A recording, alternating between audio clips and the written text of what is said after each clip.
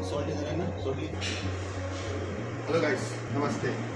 Thank you. Now, what I explained in last previous video that spices and herbs. One more important thing. When you roasting any herbs, make sure you have to know the basic things.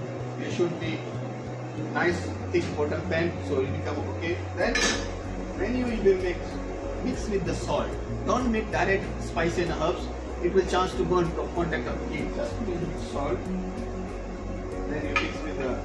Any spices if you make masalas, you make any type of things you prepare. Let's say there, mix it, mix it. But make sure you mix the salt. So what happens when you mixing the salt, it will protect of heat.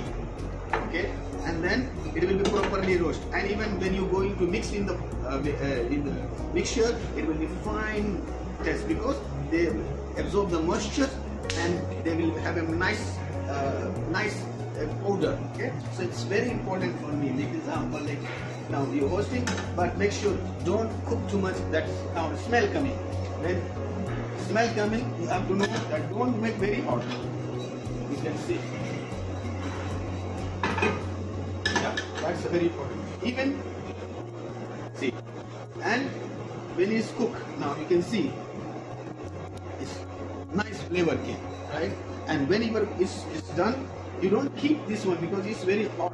So you take the pan and keep it to roast. You know why? Stop the now cooking. It will stop the cooking. But if you keep there, it will burn.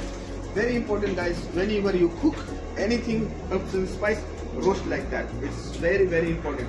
Even last time I explained to you as well as that all the herbs and spices. So important, guys. Thanks and be noted. Thank you. Thank you for watching. Now this is beautiful uh, dill leaves.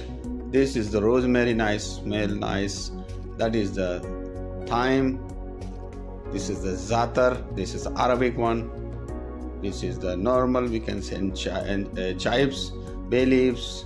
They have a lot of herbs like mint, coriander, cumin, jatar. Jatar basically is Arabic spices, five spices, uh, cumin, coriander, uh, cinnamon, so there is not like these thousand spices you have. You can learn, you can smell, you can know the taste, you can know the balance. Thank you guys.